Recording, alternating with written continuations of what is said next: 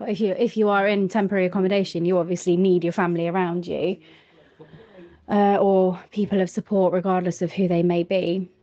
So it impacted everybody, but the refuge in particular were incredibly strict, and we weren't actually allowed out.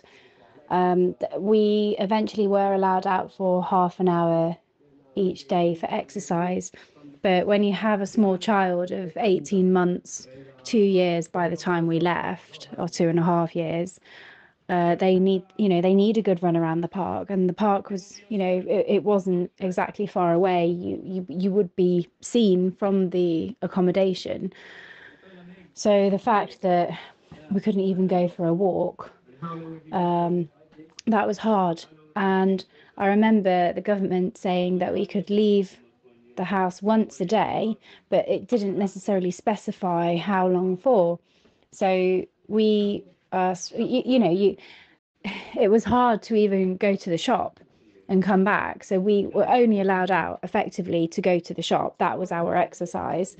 Um, and if we had done a big shop and we had to go to the shop again, then that would sort of be rejected. So we just felt like we were being incredibly controlled.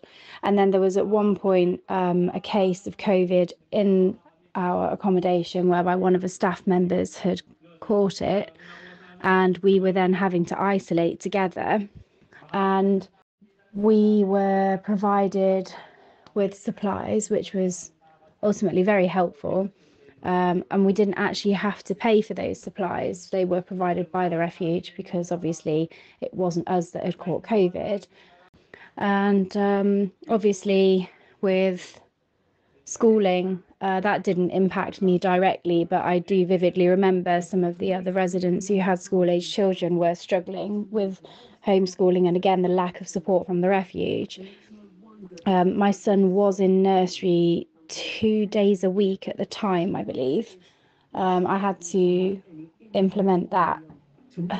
It was unfortunately necessary to gain habitual residence in the UK because I'd been out of the country for so long. I had to prove that my son was settled here, so I had to send him to nursery. And again, the refuge were incredibly strict about that. And thankfully, I was allowed to go and drop him off and pick him up. But I would quite often like to take a walk into town once I dropped him off. That was my quiet time.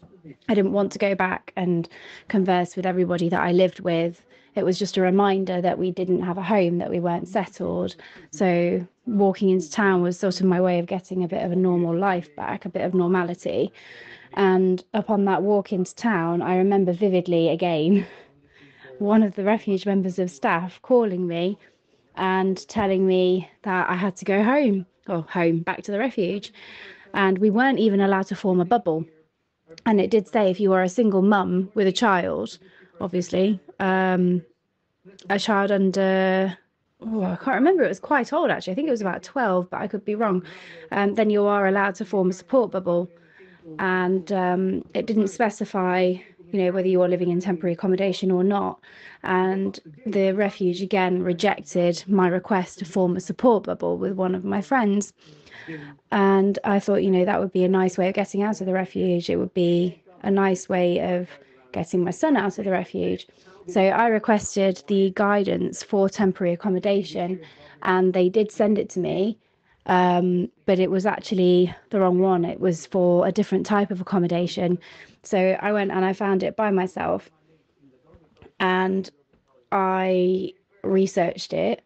And it turns out that the guidance for temporary accommodation was pretty much the same as uh, for, for everybody else. So I challenged that and I was just told that they don't have to adhere to the government guidelines. They can implement their own guidelines. So effectively i was being lied to from the beginning and they were trying to tell me that these were the certain guidelines when in fact they weren't. But because i went and sought them out myself then they admitted that actually well you know we don't care. We're going to implement our own guidelines anyway. Um, and they prevented us from forming that support bubble. So ultimately, it did have a, an incredibly negative impact on both mine and my son's mental health.